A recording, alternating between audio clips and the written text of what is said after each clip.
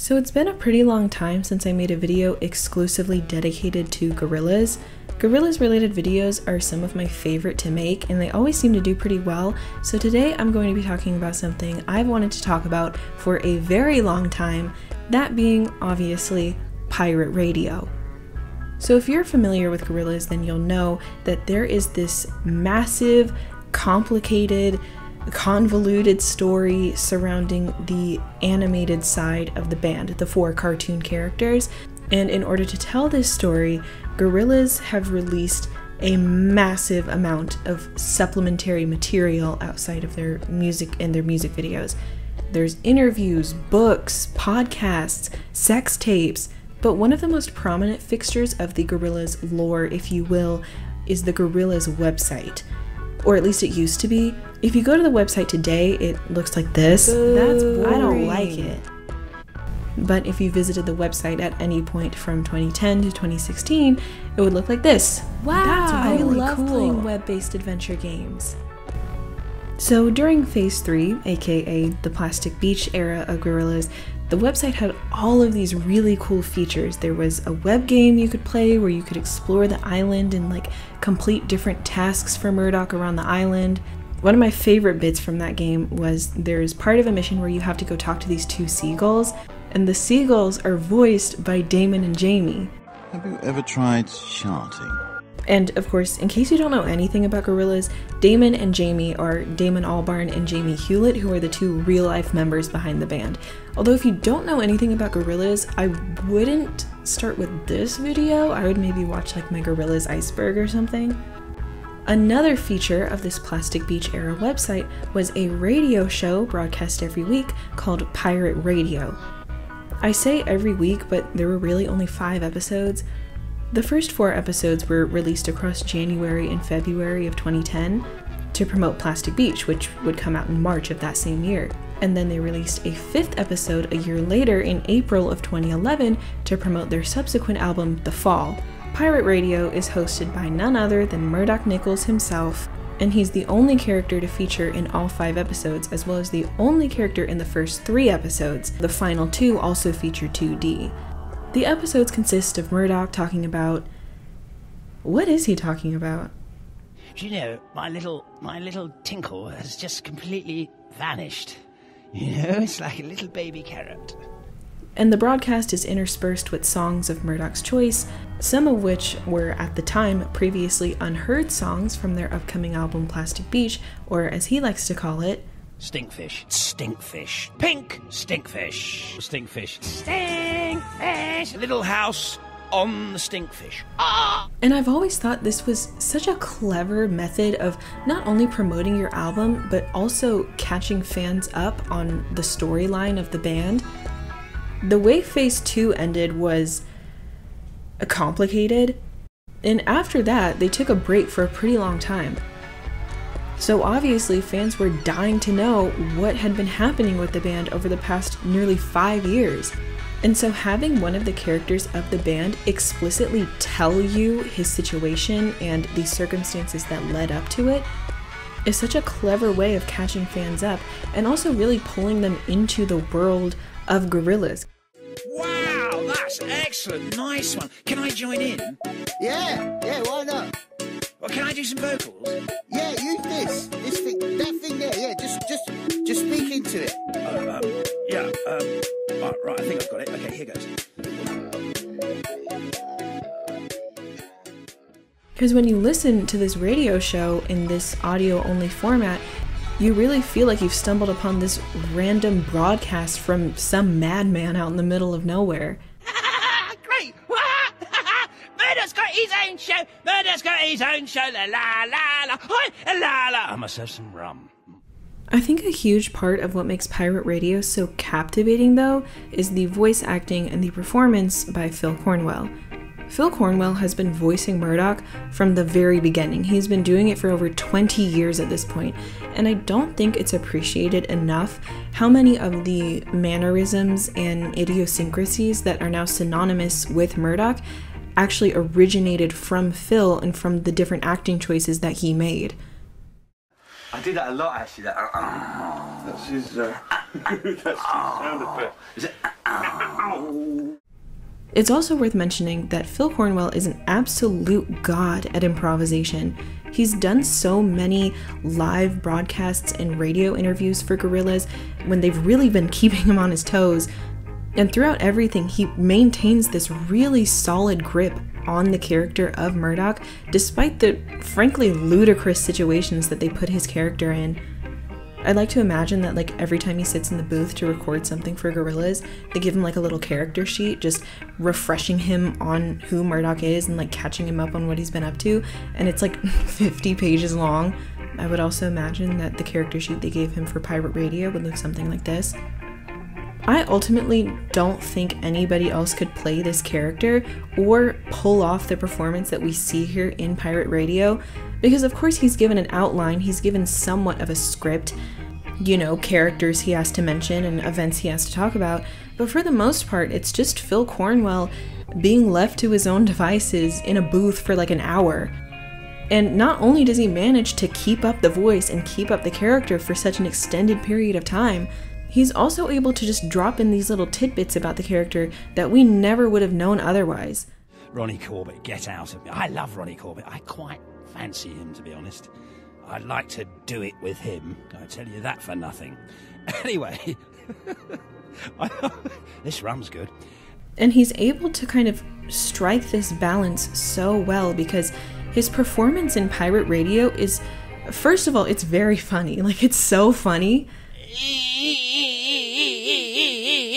This island, yeah, it's been dry for so long. So long. It has.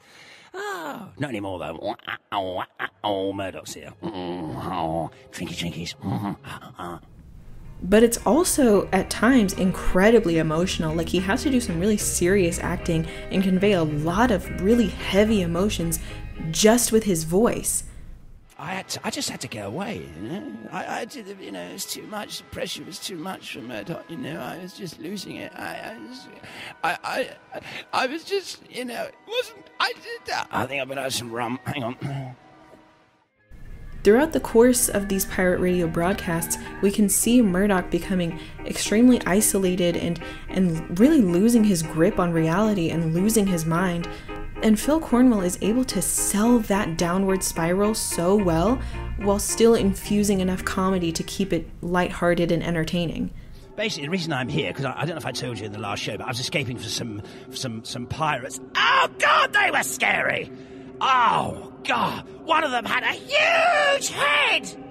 Oh, I didn't like it. I keep seeing his head in my dreams. Oh, hang on, let's have some more rum. Hang on a second. More than anything, Pirate Radio is a character study of Murdoc Niccals. I think we can all agree at this point that Murdoc is pretty much the protagonist of Gorillaz. I do think in the past there was more of an equal focus on each band member, but Murdoc's always been more front and center. I mean, Rise of the Ogre began and ended with his perspective, and he's always been something of a controversial character in the sense that, well, he sucks. He's just like an awful person that does awful things like a hundred percent of the time. But despite that, he's really become a fan favorite. And not even in the way that most villains are, where you love how just unabashedly evil they are and you love to hate them. People are rooting for Murdoc. Like, I'm rooting for Murdoc, man. He's my all time favorite character from any piece of media. And also, I just want to point out Jamie once said that a lot of the events in Murdoc's life were based off of things that happened to Damon. And like, I'm sorry. What? like, what do you mean? Which parts? That's like such a troubling piece of information to just drop and then never address again. But really, I think it's a combination of Phil Cornwell's performance and Cass Browne's writing that make Murdoc such a compelling character. I've talked about Cass Browne before, I think either in my Gorillaz Iceberg or in my video about Humanz, maybe it was both, but I truly believe that Cass Browne deserves way more credit for making Gorillaz what it is today. It's easy to give Jamie the credit for everything to do with the cartoon characters and the fictional aspect of the band, And I mean, yeah, he created the characters, and yes, he directs all the music videos, and yes, he has most of the ideas, but Cass is the one that strung everything together into a coherent story. He's the one that was writing the interviews, he's the one that was keeping the characters consistent. He wrote Rise of the Ogre, for God's sake. Cass Browne is the reason that these characters are who they are.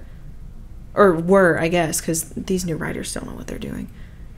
Cass wrote Murdoc with this very tragic backstory, and you can trace pretty much every single one of his defining characteristics to some kind of traumatic event in his life. His desire for fame, his selfishness, his hypersexuality, even.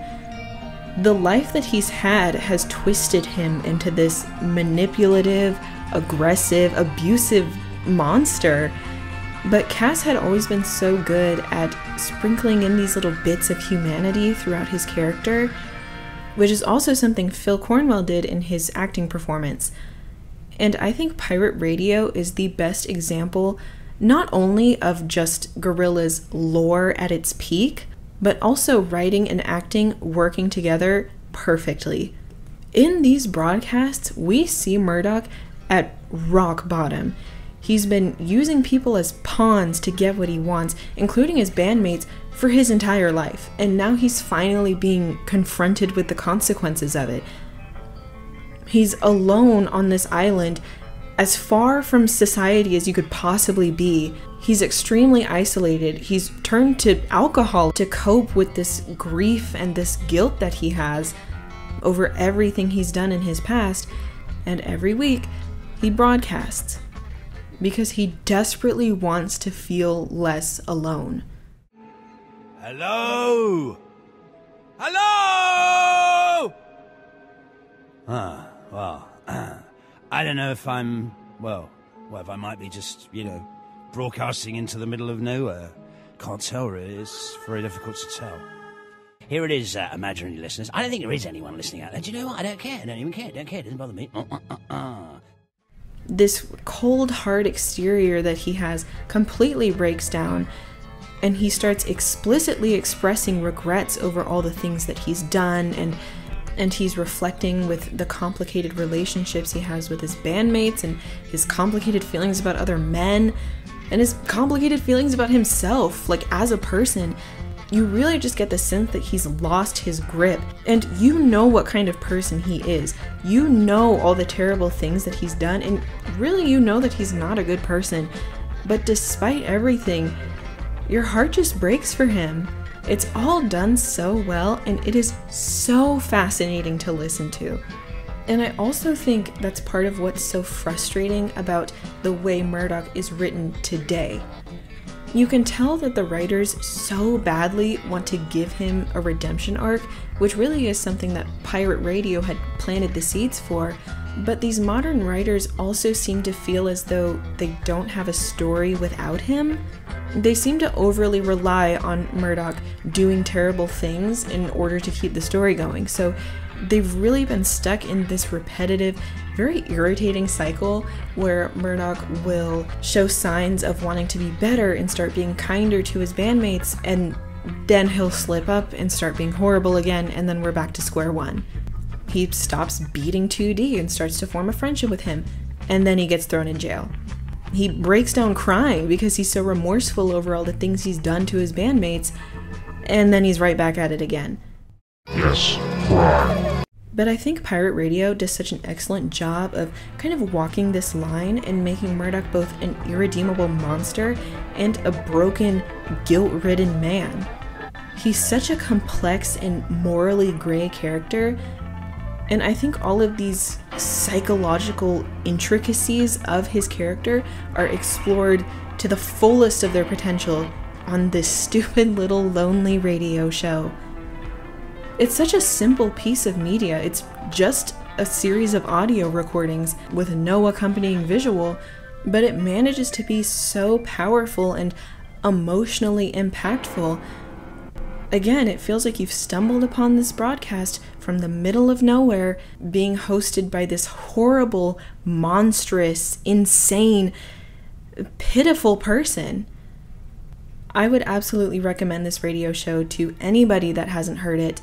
Whether you're already a massive Gorillaz fan or you don't even know who Murdoc Niccals is, because it is so incredibly captivating. It's funny, it's emotional, it's a look inside the mind of, in my opinion, one of the most interesting fictional characters I've ever come across. And outside of their music, of course, it is my favorite piece of Gorillaz media of all time. Thank you so much for watching this video. If you liked it, be sure to give it a thumbs up. And if you liked me, be sure to subscribe to my channel. If you want, you can even turn notifications on so you'll be the first to know when I'm broadcasting from my brand new stinking palace of sin. Anyways, that's gonna be all from me. I'm gonna go listen to my favorite song. That, of course, being Stinkfish.